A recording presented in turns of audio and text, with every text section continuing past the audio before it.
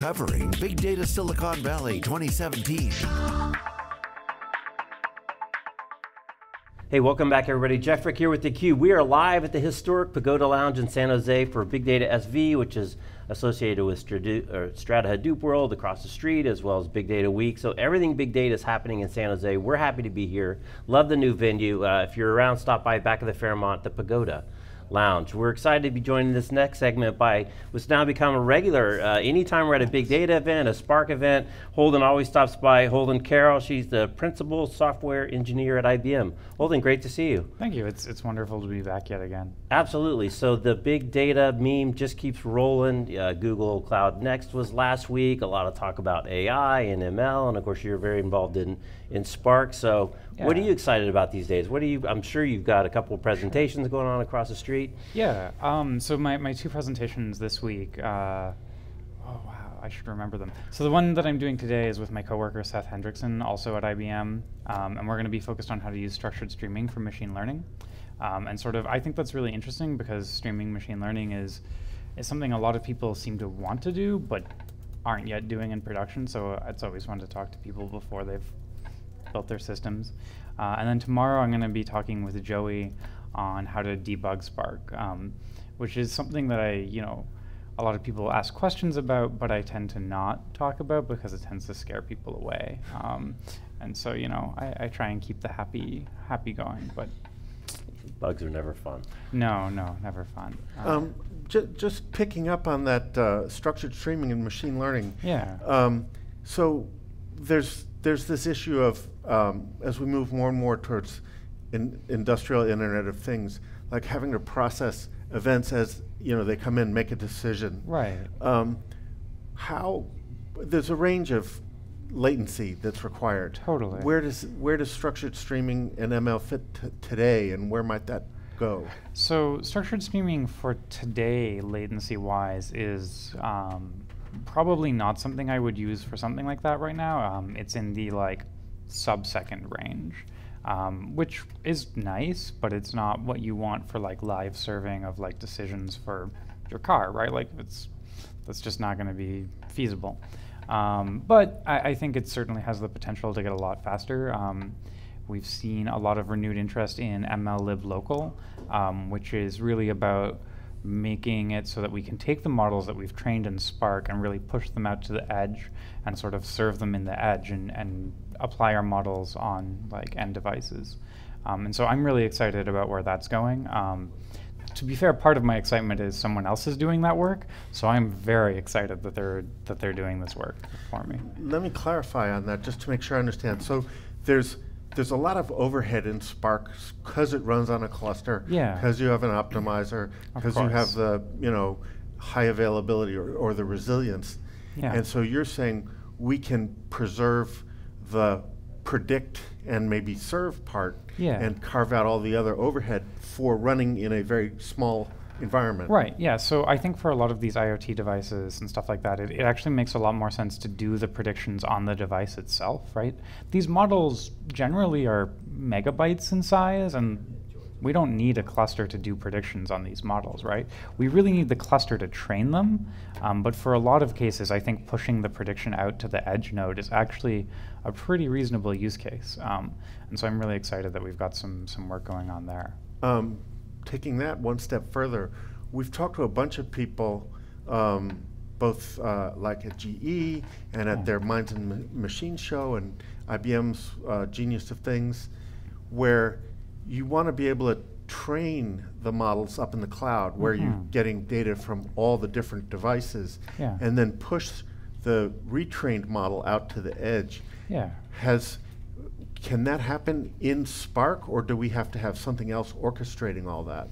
Um, so, so actually, pushing the model out isn't something that I would do in Spark itself. Um, I think that's that's better served by other tools. Um, Spark is is not really well suited to to large amounts of internet traffic, right? But it's really well suited to the training, and I think um, with MLlib Local, it, it'll essentially we'll be able to provide both sides of it, and and the copy part will be left up to whoever it is that's that's doing their work, right? Because like if you're copying over a cell network, you need to do something very different as if you're like broadcasting over a terrestrial like XM or something like that. You, you need to do something very different for satellite.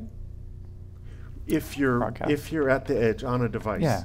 would you be actually running like you're saying earlier, structured streaming with the with the prediction? Right. could I don't do think that? you would use structured streaming per se on the edge device, but you would use, um, so essentially there would be a lot of code shared between structured streaming and the code that you'd be using on the edge device. And it's, it's being factored out now so that we can, we can have this code sharing in Spark machine learning.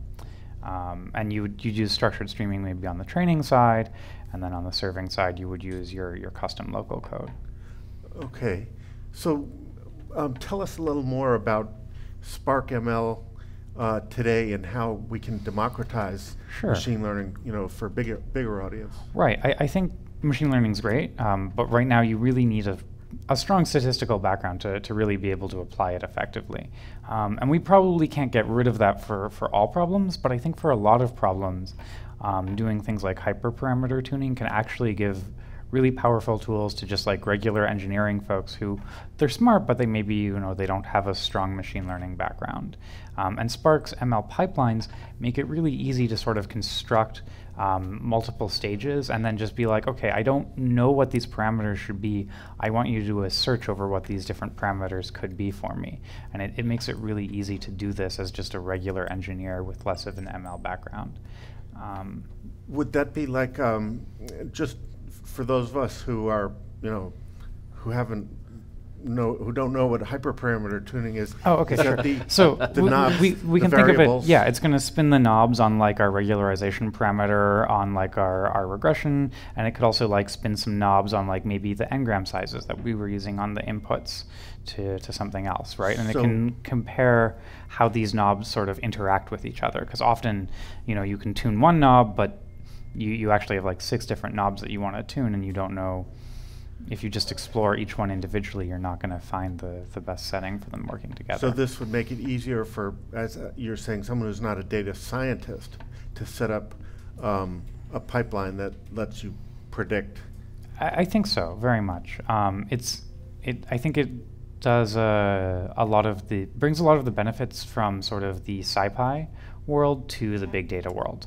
Um, and SciPy is, is really wonderful about making machine learning really accessible, but it's just not, you know, ready for, for big data. And I, I think this does a good job of bringing these same concepts, if not the code, but the same concepts to big data. The SciPy, if I understand, if I, um, is it a notebook that would run essentially on one machine? You, you SciPy can be put in a notebook environment, and generally it would run on yeah a single machine. And so to make that uh, sit on Spark means you could then run it on a cluster for doing yeah. your. So so this this isn't actually taking SciPy and distributing it. This is just like stealing the good concepts from SciPy Ah, and okay. making them available for big data people. Okay. Um, because SciPy's done a really good job of making a very intuitive machine learning sort of interface. So, just to uh, put a fine sort of uh, uh, qualifier on one thing, if you're doing the Internet of Things and you have Spark at the edge, and you're you're running the the model there, Yeah. um, is the programming model. Um, so it, structured streaming is one way of programming Spark. Totally. But if you don't have structured streaming at the edge, would you just be using the core batch Spark programming model? So um, at the edge, you'd just be using you. You wouldn't even be using batch, right? Because you're trying to predict on individual events, right? Okay. So you'd just be calling predict with every new event that you're getting in, um, and you you might have a queue mechanism of some type. Um, but essentially, if if we had this batch, we would we would be adding additional latency, and and I think at the edge, we we really the reason we're moving the models to the edge the is to avoid the latency. Right, right. So, um, just to be clear then, is the programming model, so it wouldn't be structured streaming and we're, we're, we're taking out all the overhead that forced us to use batch with Spark. Yeah. So the, the reason I'm, I'm trying to clarify is a lot of people had this question for a long time, which is, are we going to have a different programming model at the edge from what we have at the center? Yeah, that's a great question. Um, and I don't think the answer is finished yet, but I think the work is being done to try and make it look the same. Um, of course, you know, trying to make it look the same. This is Boo. She's not like actually barking at us right now, even though she looks like a dog, and she is. Um, but you know, there will always be things which are a little bit different from the edge to your cluster. But I think Spark has done a really good job of of making things look very similar on single node cases to multi-node cases, and I, I think we can probably bring the same things to ML. Okay, so it's almost like we're coming back. Spark was took us from single machine to cluster, Yeah. and now we have to essentially bring it back for an edge device that's really lightweight. Yeah, I, I think at the end of the day, just from a latency point of view, that's what we have to do for serving for some models, not for not for everyone, right? Like if you're building a website with a recommendation system, you don't need to serve that model like on the edge node. That's fine. But like if you've got a car device, we can't depend on like cell latency, right? You have to serve that in car. Right. So, um, what are some of the things, some of the other things that IBM is contributing to the to the ecosystem that you see um, having a big impact over the next couple of years? So there's there's a lot of really exciting things coming out of IBM, um, and I'm obviously pretty biased. I spent a lot of time focused on Python support in Spark, um, and one of the most exciting things is coming from my coworker Brian. Uh, called, uh, I'm not going to say his last name in case I get it wrong, um, but Brian is amazing, and he's been working on uh, integrating Arrow with Spark, and this can make it so that it's going to be a lot easier to sort of um, interoperate between JVM languages and Python and R. And so I'm really optimistic about sort of the Python and R interfaces improving a lot in, in Spark and getting a lot faster as well. Um, and, and we're also, in addition to the Arrow work, we've got some work around making it a lot easier for people in R and Python to get started. Um, the R stuff is, is mostly actually the Microsoft people. Thanks, Felix. You're awesome. Um, I I don't actually know which camera I should have done that to, but that's okay. Perfect. I think you got the right. Um, I think you got it. Cool. So Felix is amazing, and and the other people working on R are too. Um, but I think we're we've both been pursuing sort of making it so that people who are in the R or Python spaces can just use like pip install, conda install, or whatever tool it is they're used to working with to just bring Spark into their machine really easily, just like they would any other sort of software package that they're using. Because right now, for someone getting started in Spark, um, if you're in the Java space, it's pretty easy, but if you're in R or Python, you, you have to do a lot of sort of weird setup work, and it's worth it. But like, if we can get rid of that friction, I think we can get a lot more people in these communities using Spark. Let me see if I, just as a scenario. Sure. The R server is getting fairly well integrated into SQL Server. Yeah. So would it be, would you be able to use R as the language um, with the Spark execution engine, sort of some, to somehow integrate it into SQL Server as a execution engine for doing the m- machine learning and predicting? You definitely, well, I shouldn't say definitely. You probably could do that. Um, I don't necessarily know if that's a good idea, but that's the kind of stuff that this would enable, right? Okay. It'll make it so that um, people that are making tools in R or Python can just use Spark as another library, right? And it doesn't have to be this really special setup. Um, it can just be this library, and they point out the cluster, and it can do whatever work it wants to do. That being said, the SQL Server R integration if you find yourself using that to do like distributed computing, you should probably take a step back and like rethink what you're doing. Because it's not really scale out. It's it's not really set up for that, um, and and you might be better off doing this with like a, you know, connecting your Spark cluster to your SQL Server instance using like JDBC or a special driver, and and doing it that way. But you you definitely could do it in in another inverted sort of way. So last question from me. If you look out, um, if you look out a couple years, um, how will we make machine learning accessible to a bigger and bigger audience? Um, and I know you touched on the Yeah. the tuning of the knobs, hyperparameter tuning. What what what will it look like ultimately? I, I think ML pipelines are probably what things are going to end up looking like. Um, but I think the other part that we'll sort of see is we'll see a lot more examples with how to work with certain kinds of data. Um, because right now, like, I know what I need to do when I'm ingesting some textual data, but I know that because I spent like a week trying to figure out what the hell I was doing once, right? Um, and I didn't bother to write it down, and it looks like no one else bothered to write it down, right? Um, so I, I think really we'll see a lot of tools that look very similar to the tools we have today. Um, they'll have more options and they'll they'll be a bit easier to use. But I think the main thing that we're really lacking right now is good documentation and sort of good books and, and just good resources for people to figure out how to use these tools. Um, now, of course, I mean, I'm biased because I work on these tools, so I'm like, yeah, they're pretty great. Um, so th- there might be other people who are like, Holden, no, you're wrong. We need to rethink everything. Um, but but I think this is, you know, we can go very far with the pipeline concept.